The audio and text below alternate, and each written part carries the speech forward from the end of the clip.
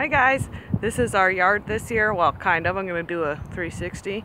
Here's our gardens. We have one, two, three, four, and then in the far back six, and way over there seven, and all, all the way at the top of the lawn, garden number eight. Not to mention fruit trees, fruit trees, and in that little yard more fruit trees.